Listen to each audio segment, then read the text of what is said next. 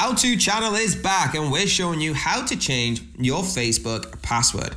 So simply go onto your Facebook app and what you want to do is click on the menu tab. Once you hit the menu tab, scroll all the way down until you see where it says settings and privacy. Guys, super easy. Once you've hit settings and privacy, you're going to hit the settings button. Then it's going to bring up your profile and account settings. So scroll down to where it says security and login in the security section and hit that. Now it's going to give you a chance to click where it says change password. It's in your login settings. Click that and guys, if you don't have your password to hand, if you can't remember it, you can reset it, okay, with a forgotten password button. If not, just type in your current password and your new password, but hit that forgotten password if you don't remember. It's gonna send you an email with a code. All you have to do is follow them instructions.